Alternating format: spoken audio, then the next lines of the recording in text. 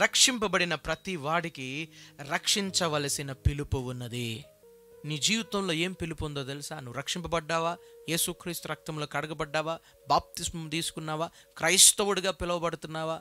అయితే నీకు రక్షణ కలిగి ఉన్నవాడివైతే నీవు రక్షించబడ్డవాడివైతే నీ జీవితంలో ఒక పిలుపు ఉంది. ఒక ఒక పిలుపు ఉంది నీ జీవితంలో. ఏంటంటే అది రక్షించవలసిన పిలుపు ఉన్నది. రక్షించబడ్డ నీవు అనేకుల్ని రక్షించుటకు పిలుపును ఇవ్వబడ్డావు.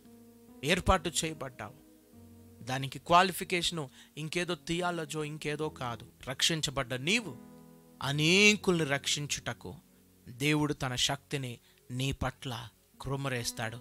ఆ శక్తి ఎట్టిదో ఆ అపరిమితమైన బలము ఎట్టిదో నువ్వు తెలుసుకోవాలి. నువ్వు బాప్తిసం పొందావు ఏసయ్యను నమ్ముకున్నావు క్రైస్తవుడుగా పిలువబడుతున్నావు దేవుణ్ణి నమ్మావు కదా దేవుణ్ణి విశ్వసించావు కదా. విశ్వసించినటువంటి నీవు నమ్మినటువంటి నీవు నీ ద్వారా దేవుడు ఎలాంటి గొప్ప కార్యాలు తన శక్తిని నీ ద్వారా క్రొమరించాలనుకుంటున్నాడంటే రక్షింపబడినటువంటి నీవు ఆత్మలను రక్షించుటకు గాను తన అపరిమితమైనటువంటి శక్తి నీ ద్వారా దేవుడు ఈ లోకములో అన్యజనుల మీద క్రొమరిస్తాడు ఒక ఆత్మను రక్షించాలన్న భారం నీకుంటే చాలు. ఒక ఆత్మను రక్షించాలన్న ఆశ నీకుంటే చాలు. అతృష్ణ నీకుంటే చాలు.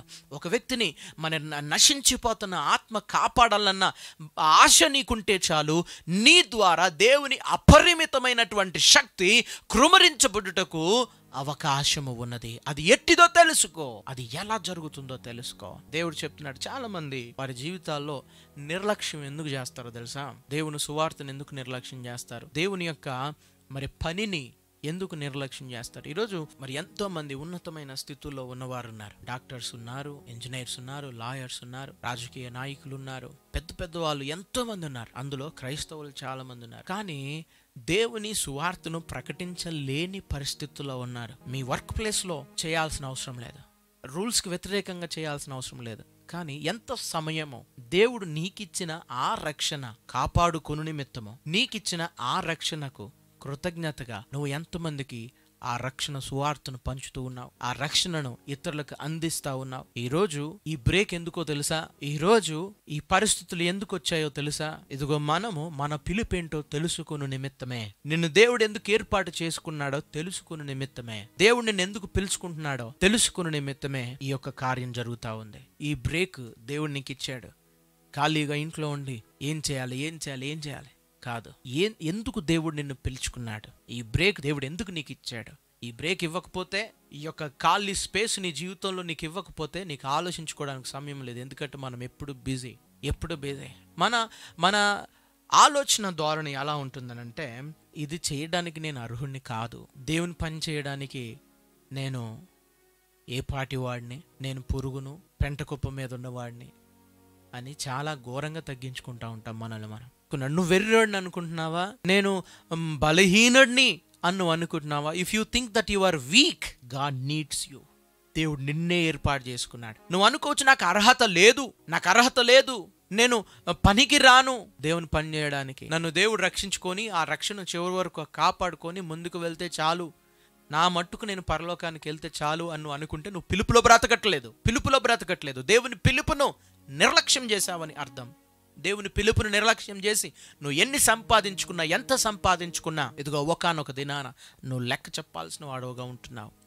రక్షింపబడిన నీవు రక్షించాలా అన్న పిలుపు నీ మీద ఉంది. రక్షించబడ్డ నీవు అనేకులను రక్షించుటకు కావలసిన పిలుపు నీ మీద ఉంది. ఆ పిలుపును ఈ నువ్వు నువ్వు నిర్లక్ష్యం చేయొద్దు. ఇది సాధారణమైన క్రైస్తవుని జీవితానికి ఉన్న పిలుపుని నేను చెప్తున్నానండి. ఇది ప్రతి క్రైస్తవునికి ఉన్న పిలుపు అండి. ప్రతి ఒక్క బిడ్డ మీద ఉన్న పిలుపు. నిరీక్షించు వారి కొరకు. లేదా మరి ఏర్పాటు చేయబడ్డ వారైతేనేమి పిలువబడ్డ వారైతేనేమి విశ్వసించు ప్రతి వానికి. క్రైస్తవుడు అనబడుతున్న ప్రతి వాని మీద ఉన్న పిలుపు ఇది. ఈరోజు నువ్వు అలా అనుకుంటున్నావేమో. నన్ను అందరూ నెట్టివేశారు నన్ను వెలివేశారు నేను దేనికి పనికిరాను? నేను నేను ఏ విషయంలో నాకు మంచి స్కిల్స్ లేవు అని నువ్వు అనుకోవచ్చు. అయితే దేవుడిని ఏర్పాటు చేసుకున్నాడు. దేవుడిని ఏర్పాటు చేసుకున్నాడు. ఎలా ఏర్పాటు చేసుకుంటాడో తెలుసా? ఇదిగో నీవు నీ మనస్తత్వం మీద ఆధారపడొద్దు. నీ కెపాసిటీ మీద నువ్వు ఆధారపడొద్దు. నువ్వు ఆధారపడాల్సింది ప్రభు బలము మీద. ప్రభు శక్తి మీద ప్రభు మంచితనము మీద ప్రభు కార్యముల మీద నువ్వు ఆధారపడి ముందుకు వెళ్ళాలి. నీ బలం మీద నువ్వు ఆధారపడి నువ్వు వీకే నువ్వు వెర్రివాడివే. ఇదిగో వెర్రివాడే గొప్ప కార్యాలు చేయడానికి దేవుడు ఎంపిక చేసుకుంటాడు. బలహీనల ద్వారానే దేవుడు గొప్ప కార్యాలు చేయడానికి ఎంపిక చేసుకుంటాడు. అయితే ఆయన పిలిపేంటో ఆ నిశ్చయత నీకుందా ఇది నాన్న క్రైస్తవుడిగా పిలువబడుతున్నావు. ఆ నిశ్చయత నీకుందా? రక్షింపబడ్డావా? రక్షించుటకు అమితమైనటువంటి అనగా కొలత లేనంత తన శక్తిని వెర్రివాడైన నీకిస్తున్నాడు దేవుడు. తెలివిలేని నీకిస్తున్నాడు దేవుడు. ఈరోజు ఆ రక్షింపబడినటువంటి మనము రక్షించుటకు కావలసిన శక్తి సామర్థ్యాలు మనకు ఉన్నాయి. చూడండి రక్షణలో ఉన్నంత శక్తి. నేను చెప్తున్నాను ఒక చిన్న ఉదాహరణలో నేను మీకు చెప్తాను. రక్షణ అనేది ఎమర్జెన్సీ అండి.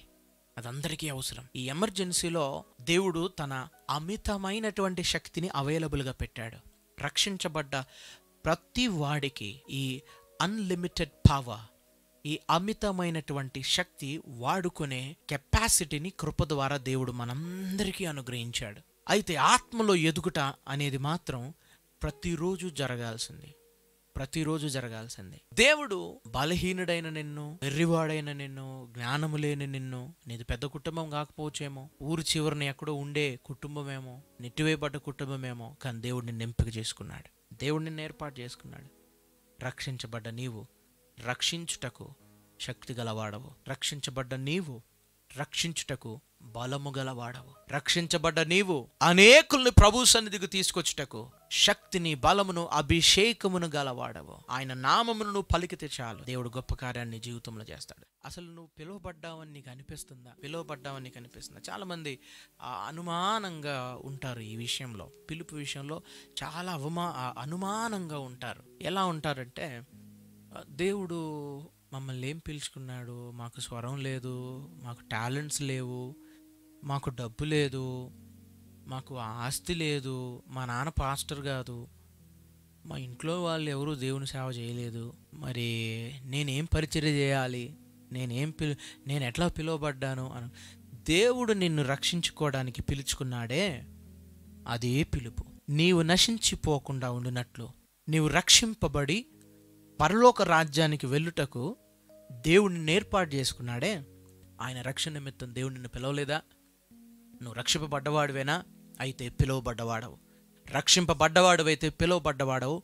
పిలువబడ్డవాడువైతే రక్షించాల్సిన బాధ్యతను కలిగిన వాడవు అనేకులు రక్షణలోనికి తీసుకురావాల్సిన బాధ్యతను కలిగిన వాడవు ఆ బాధ్యతను కలిగి ఉన్న వాడివైతే unlimited power is accessible to you if you are saved నువ్వు రక్షింపబడినట్లయితే ఆ unlimited power is accessible to you నువ్వు కొలత లేని ప్రభు అయిన యేసు క్రీస్తు శక్తిని ఇంకా చెప్పాలనంటే ఒక ఆత్మను రక్షించుటకు చనిపోయిన వారిని సైతం లేపుటకు కావలసినటువంటి బలమును శక్తిని యేసుక్రీస్తు నామము ద్వారా దేవుడు నీకు అనుగ్రహిస్తున్నాడు నువ్వు పాస్టర్ అవ్వాల్సిన అవసరం లేదు అపోస్టులు అవ్వాల్సిన అవసరం లేదు ఇవాంజలిస్ట్ అవ్వాల్సిన అవసరం లేదు ఇంకేదో బోధకుడు అవ్వాల్సిన అవసరం లేదు ఇంకేదో మరి గొప్ప కార్యాలు నువ్వు కలిగి ఉండాల్సిన అవసరం లేదు. రక్షింపబడ్డవాడివైతే చాలు. నమ్ముట నీ వల్లైతే నమ్మువాడికి సమస్తము సాధ్యమే అంటున్నాడు దేవుడు.